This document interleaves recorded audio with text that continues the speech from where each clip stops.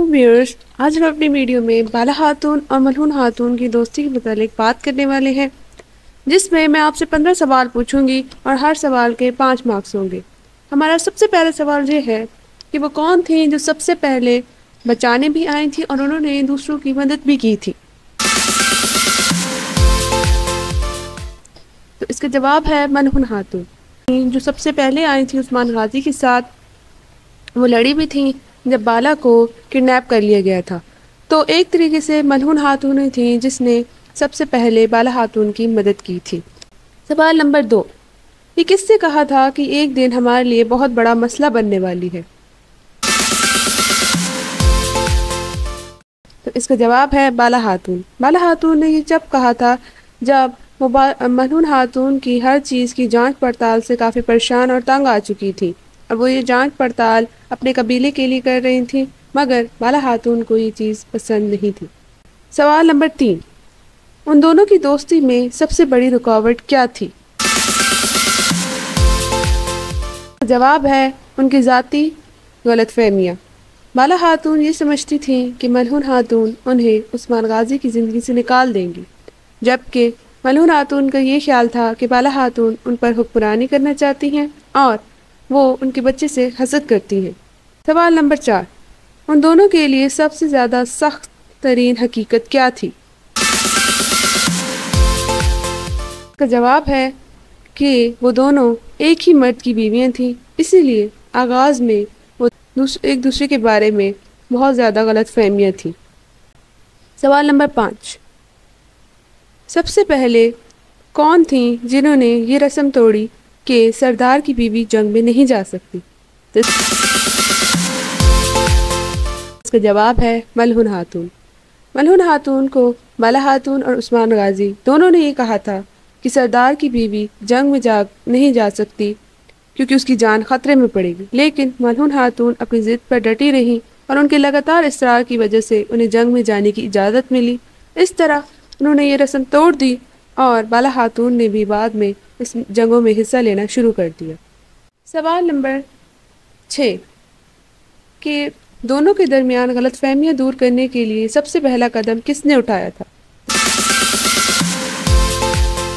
इसका जवाब है बाला खातून बाला खातून ने सबसे पहले कदम उठाया था कि वो एक आपस की तमाम गलत फहमियों को दूर कर सके।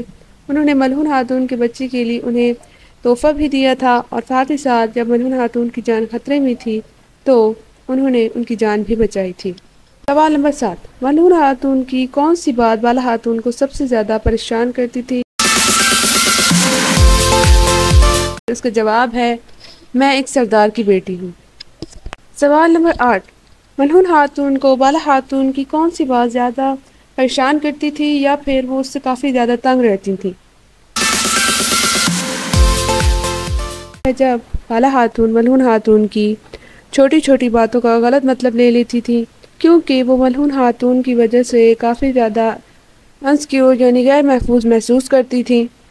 वो कौन से दुश्मन था जिसने सबसे ज़्यादा तकलीफ़ें उठाई थी जब उसने बाला खातून और मलहून खातून की बेइज्जती की थी? इसका जवाब है इसमें हान सुल्तान। इसमें सुल्तान को सबसे ज़्यादा तकलीफ़ें और मुश्किल सहनी पड़ी थी, जब उसने बाला खातून और मलहून खातून की बेज़ती की थी। उसने अपनी मोहर भी खो दी, अपनी इज़्ज़त, अपनी हुक्मरानी, अपनी फ़ौज, अपनी ताकत और अपना वक़ार, और उसने दो तीन दफ़ा ज़बरदस्त किस्म के थप्पड़ भी खाए थे, और आखिर में उसे गजान खान के पास हमेशा के लिए जेल में भेज दिया गया था। सवाल नंबर दस। सीरीज़ में कौन सा सीन है जो उनकी खालिश दोस्ती को ज़ाहिर करता है और उसे वाजे करता है? इसका जवाब है वो सी, वो सीन जब यानी शहर में आग लग चुकी थी और बाला खातून और महलूम खातून दोनों ही उस आग में फंसी हुई थी मगर अपने बारे में सोचे बगैर वो एक दूसरे का नाम पुकार रही थी। बाला खातून ये जानने के लिए चिल्लाई कि मलहून खातून ठीक है और मलहून खातून बाला खातून का नाम चिल्ला रही थी, ये जानने के लिए कि क्या बाला खातून ठीक है? सवाल नंबर ग्यारह। कौन सा सीन सीरीज़ में कौन सा ऐसा सीन है जो बाला खातून को मलून खातून पर फ़ख्र महसूस कराता है?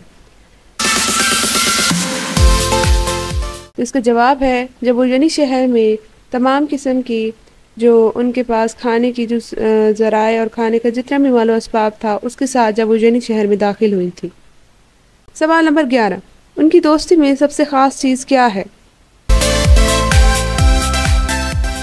जवाब है, ऊपर दिए गए तमाम ऑप्शंस यानी कि उनका एक दूसरे का सहारा बनना, एक दूसरे के लिए परेशान होना, एक दूसरे की फ़िक्र करना, एक दूसरे की इज़्ज़त करना और एक दूसरे पे भरोसा करना।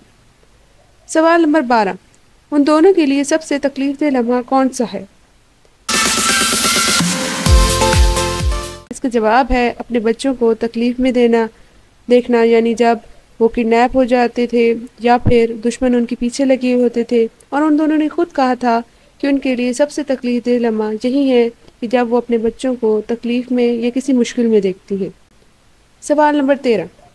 ऑक्सीटोरर को यल्दिस कागरी में कौन सी बात सबसे ज़्यादा अच्छी लगती है?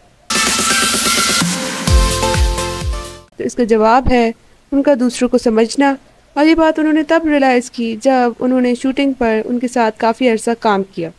सवाल नंबर चौदह। यल्दिस कागरी को ऑक्सीटोरर में सबसे ज़्यादा क्या चीज़ अच्छी लगती है?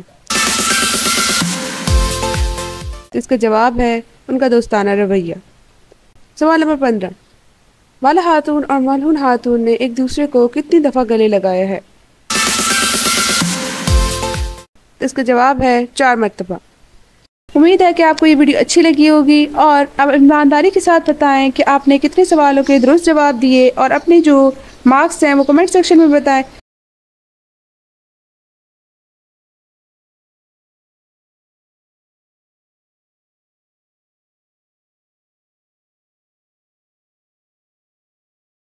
वीडियो अच्छी लगी हो तो आप ये वीडियो लाइक कर दीजिएगा, चैनल को सब्सक्राइब कर दीजिएगा और इसको शेयर कर दीजिएगा। थैंक यू वेरी मच अल्लाह हाफिज़।